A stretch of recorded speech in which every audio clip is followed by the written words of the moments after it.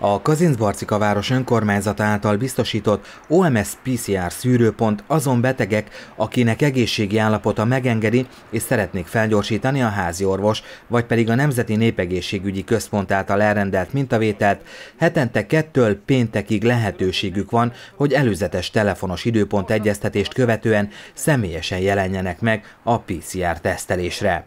Az elmúlt időszakban az országos adatokkal szemben térségünkben csökkent az esetek száma, ezért jelenleg egy mentőszolgálati munkatárs végzi a teszteléseket.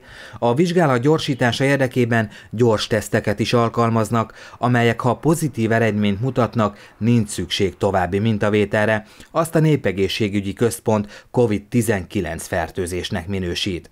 Ha a tüneteket produkál valaki és negatív lett a gyors tesztje, akkor elvégzik a PCR mintavételt is. A mentőszolgálat mind humán erőforrásban, mind eszközben továbbra is fel van készülve arra, hogy a megnövekedett mintavétel igény esetén bármikor bővítse kapacitását.